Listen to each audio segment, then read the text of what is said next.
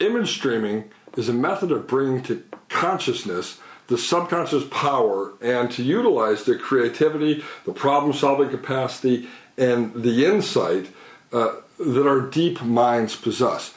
It also is a tool for helping us to enhance our awareness of our representational systems, and it's a tremendous tool to help us in uh, practicing and increasing our visual acuity. And the image streaming technique that I'm going to share with you really is a, a, a, fairly simple and basic process that can help us to gain guidance from that, that intuitive part of the mind that's deep within us. Remember, one of the presuppositions of neurolinguistic programming is that we actually have inside of us already the tools necessary to find our solutions and to experience success and to act in ways that are truly meaningful in a positive way. Now, the image streaming exercises were originally developed by uh, a guy named Win Wenger, who's been associated with uh, Mensa, among other organizations. Uh, this is an adaptation of uh, some of the work that he's written about. Um, and this is how I use image streaming, both in my own life and with clients as well a lot of people will tell you image streaming should be done with a partner. I like to do it alone. I like to put the headsets on and go to the computer and uh, you know use uh, Audacity and actually record myself. By the way, a great free program for recording yourself on the internet, and you can use this to make you know recordings of lectures or hypnosis CDs. Uh, it's Audacity. It's a free download, uh, but you can take the headphones, plug it in, and and and I like to do this uh, it's great to get feedback from another person. But sometimes we can get lost in a tangent, and just going through the process uh, can be extremely helpful. So, if no partner is available, you can simply record it on the computer and listen back to it.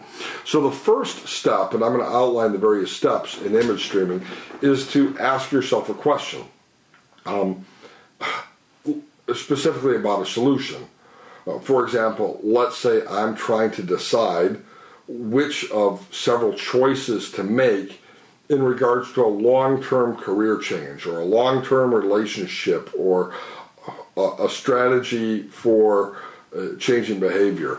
Uh, I would begin by asking myself a question. Now, I'm going to ask myself this simple question um, What is going to be the most effective way to, Richard, to control your uh, food intake and to increase your activity level. Remember, I said I just had surgery and we're trying to get healthy and fit again and lose a few pounds. So that might be the question I ask myself. Step two then is to close your eyes, to relax, to put yourself in that state of deep relaxation that we practiced at the beginning of this DVD. And to simply let the mind relax.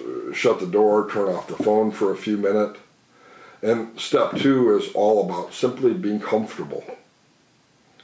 And now in step three, you're going to focus on the inner mind where creativity and insight and awareness lies. And in step four, you're going to describe the images that you see inside of that creative, intuitive, insightful, and aware part of the mind. It's amazing how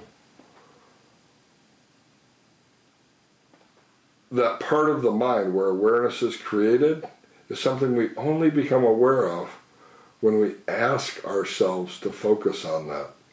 And so I want people in step four to describe the images they see using that microphone, using that headset, or talking to another person, and give their first impression and describe it in detail. Well, I see myself in a long and and uh, and and tiring road. It, it seems to be uh, it seems to have no end, and the road isn't one I can travel on very quickly. I mean, it, different people have different visual images and describe it in detail. The, the yellow lines are faded, and the side of the road is filled with rock. And as you begin to focus on this visual imagery, describing it to yourself or describing it to your friend, note the emergence of any new details. And as I go further down the road, the road becomes uh, uh, filled with cracks, and those cracks become wider. And if the image changes at all, describe those changes. Now, step five is to uh, is to look at future awareness, to ask, why is this here? What does it mean? Why are, why, why are the cracks in the road? What do those cracks mean?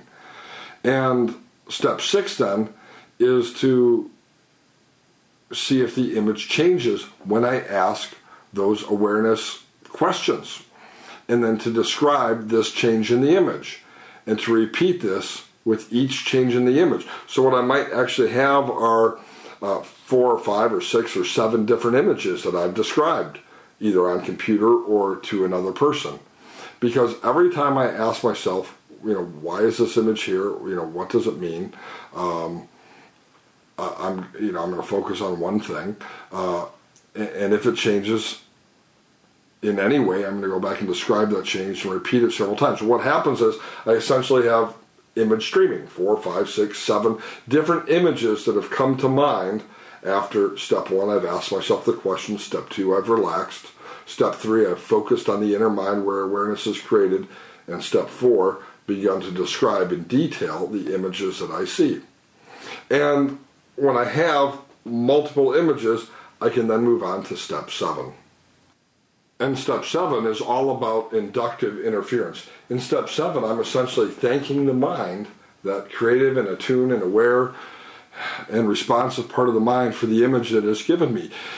And in step eight, what I do is I recognize the commonalities in all of those images. Let's say I had an image of that road, and then I had another image uh, in my house, and another image of, you know, car shopping when I was 16, a recalled image, and another image of me as an old person in, in the future. I mean, whatever these images are, take a minute in step eight to recognize the commonalities in the stream.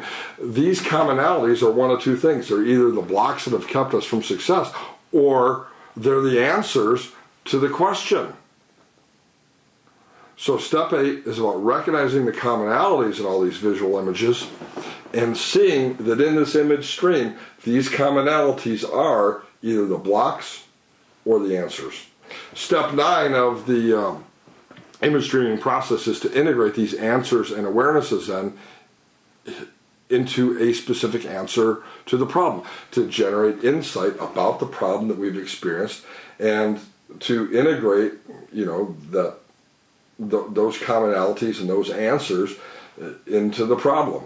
And then step 10 is uh, to debrief. And the way to debrief is to summarize all these experiences to another person or to yourself. Um, and, and, this whole process of image streaming takes about 10 to 15 minutes. Maybe a person might spend up to 20 minutes in it. Uh, but a person who practices this each and every day, uh, or even just a couple times a week, will find that it produces a remarkable change in their awareness, in their problem solving capability, and in their ability to intuitively handle situations that previously used to baffle them.